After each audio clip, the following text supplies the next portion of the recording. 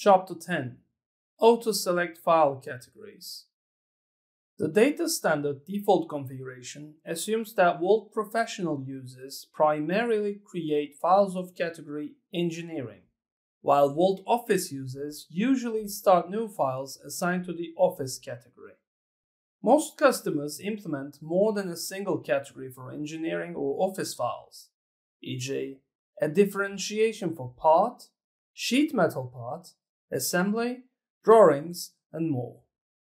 Usually, the assignment follows company-specific rules, and VDS is great in transforming these rules in automation. A user no longer needs to manually apply these standards. Data Standard uses PowerShell script language to implement rules. This tutorial cannot cover basics of the script language, and expects you to review PowerShell syntax tutorials alongside the exercises. However, we explain the workflow of dialog loading and rule execution in detail. And we focus in three exercises to achieve a common target in each VDS application AutoCAD, Inventor, and Vault Explorer. Prerequisites the workflow discussed in this chapter expects having multiple categories to differentiate engineering files. To quickly extend our training sample vault, the training files share an extended configuration for import. First, import the given configuration on ADMS. Apply the imported categories and assignment rules on all Inventor templates. Repeat the assignment of imported categories also on all AutoCAD templates.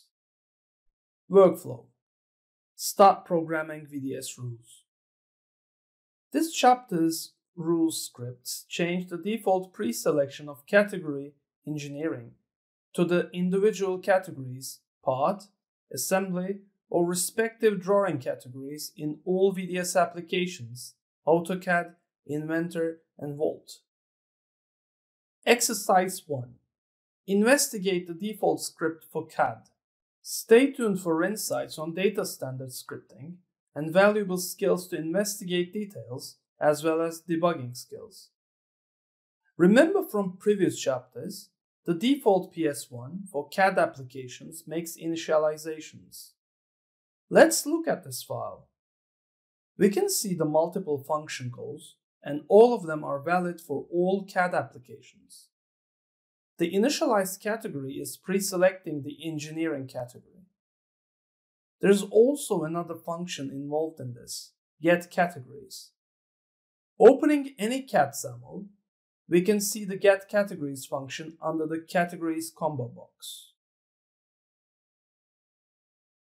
Technical workflow.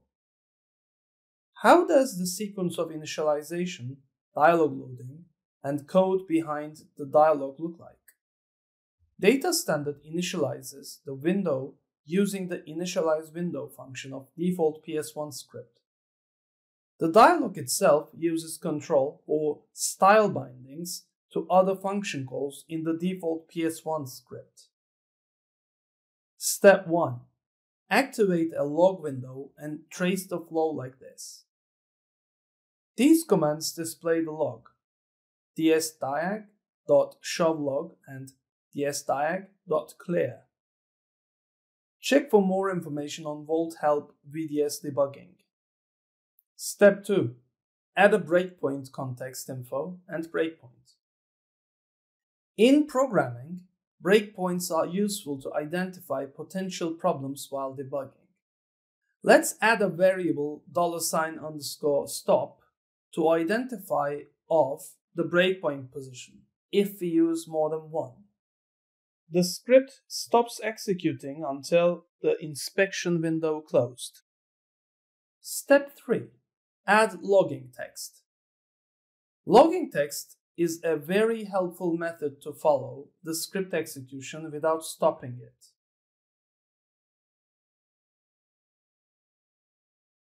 Step 4. Give it a try. In any CAD application, save a new file to see how the log window works. Step 5. Add more breakpoints and log entries. Repeat step 2 and 3 for get categories or initialize category function.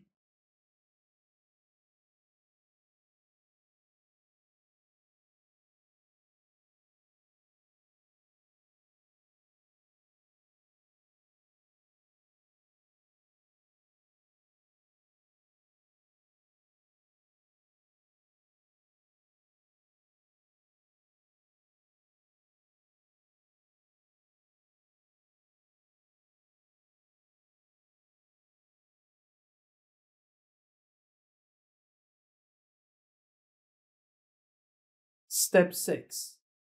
Run step by step. As we are saving a file, we see the breakpoint text entries. This is the base to understand sequential customization entry points. Note that you should never forget to comment out breakpoints and trace call after finishing your debugging session. Breakpoints are visible and will remind you that they're working, but Trace information impacts the runtime of scripts if used extensively. Exercise 2 AutoCAD Auto Select Category. Our Vault VDS tutorial updated the category definitions by adding Drawing AutoCAD. As a best practice, we should target the new category for pre-selection but also keeping the original rule activating the category engineering as a fallback strategy for vaults that do not have the specific category. Step 1. Initialize category individually for AutoCAD. As we're dividing our category initialization for different CAD applications, let's move the initialize category function to Inventor window and AutoCAD window and rename the AutoCAD for now. Exercise 3 is for Inventor. The other initialization functions should be moved after the category initialization. Step 2. Create a new rule for AutoCAD categories. Copy and paste the initialize category function and rename it. Now we edit the inner parts. Keep the first level condition to run the rule on new files only. The property underscore create mode reflects this context. Our focus here is to select the category on save, so we remove the save copy as condition. Add a new variable $mcat and fill it with the filtered list of available category objects. Add a new condition checking that mcat returned our category object drawing AutoCAD. So if it's available, we can set the category property to its name.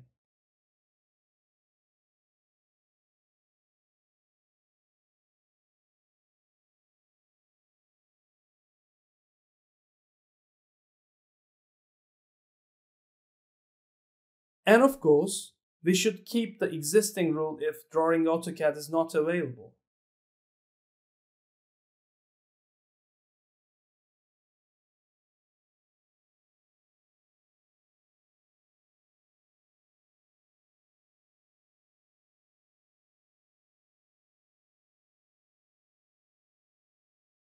Exercise 3.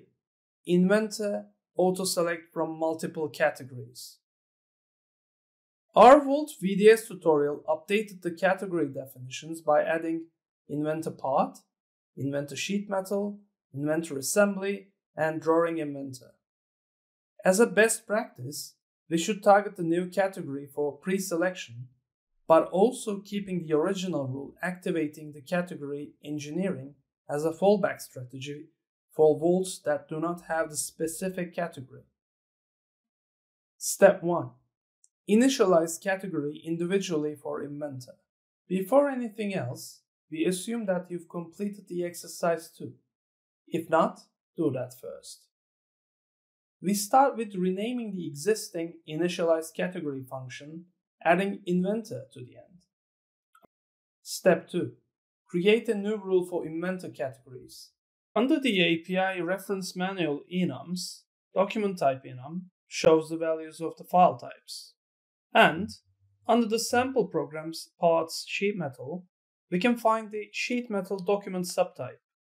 We can also find these inside the software. We will exclude the save copy as from our function. To differentiate between file types, we need to know their identification.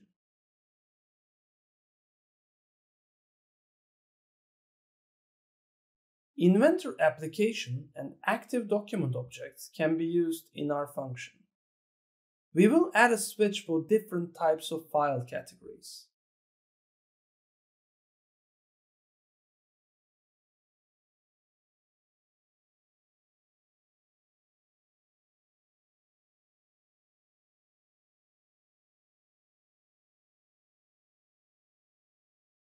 The default switch is for any unhandled condition. Within each switch, the basic strategy repeats what we already applied for AutoCAD. Check that the target category exists. If found, activate it. If not, continue activating the default engineering category.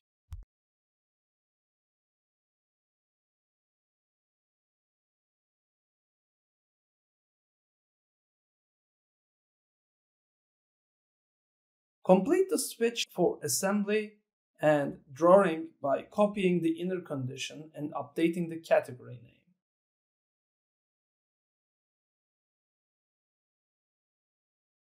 Let's look at the results.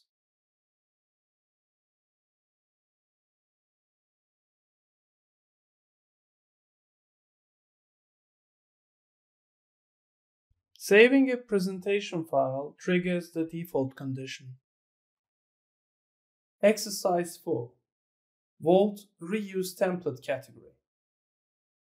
Other than in CAD, a new file in Vault doesn't know about the current file type during the runtime of the initialize window function. And the document type might change as we select another template during the runtime of the dialog. As one of many possible solutions, we read the individual category of the file template to reuse it for the new file. Before starting exercise 4, we assume that you have read and understood all previous exercises in this chapter. We will be using the default PS1 for Vault, so make sure that you have it on your vault.custom folder. Step 1. Subscribe to Event of Template Selection. Data Standard can subscribe to any dialog event.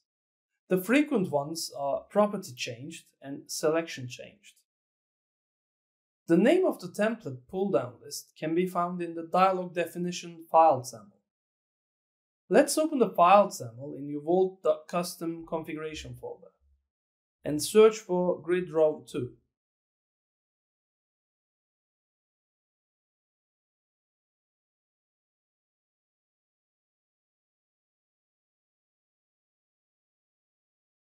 The name of the combo box is template CB. Let's add a selection changed event.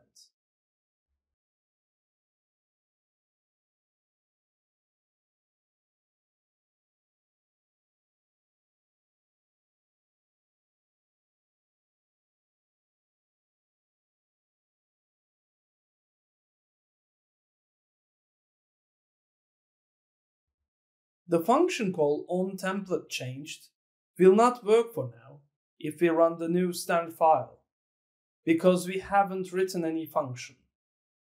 Step 2. Create event handler on template changed. So our plan is to read the category of the selected template and switch the pull down list to this category name. Let's create our function. Each VDS datasheet or window has an internal property data context that allows access to VDS internal information.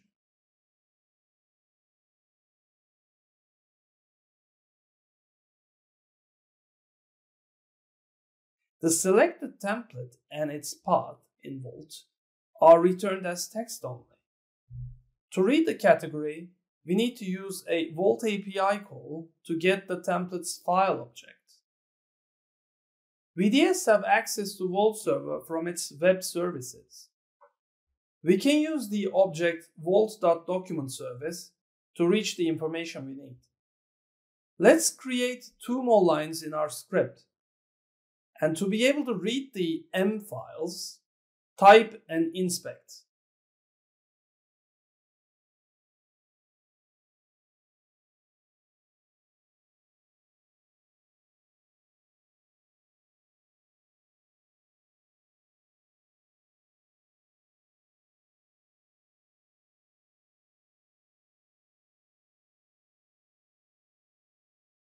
The folder object returns a unique ID, so the files can be seen in the mfiles object. Remember we have 11 files in the templates folder, and if we check the first node, we can see the category name inventor part with the file name basering.ipt. We can use this information to further develop the script. These calls are all we need using the Vault API for now. We continue writing code filtering all file objects by the given name of the current context basering.ipt. Having the object variable $m template file, we can set the category of our new file.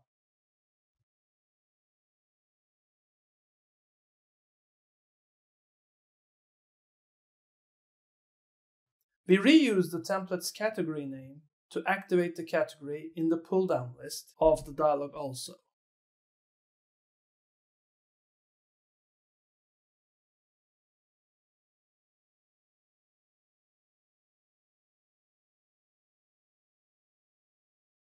Finally, compare the completed function code. Restart the new stand file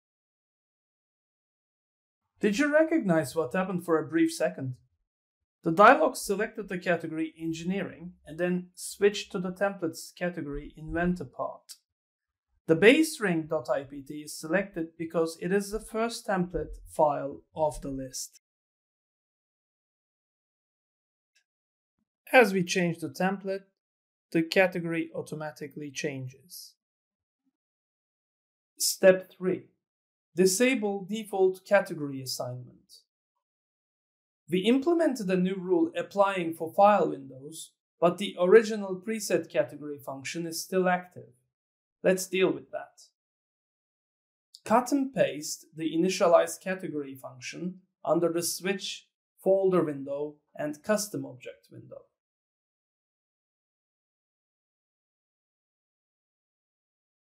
Chapter 10 Summary Honestly, starting to write data standard rules in PowerShell is a big jump if you've never used PowerShell scripting before. This tutorial cannot cover all the basics of the scripting language and expects that you review PowerShell syntax tutorials alongside the exercises. On the other hand, you should take away an impression how powerful the scripting behind the dialog can get. We changed the behavior and interacted with dialog controls like a user by selecting a category in the background. You can imagine the next step in another chapter. In chapter 1, we implemented a simple rule. The name of the numbering scheme equals to the name of the category. We will need to extend it by activating an appropriate numbering scheme for a group of category names.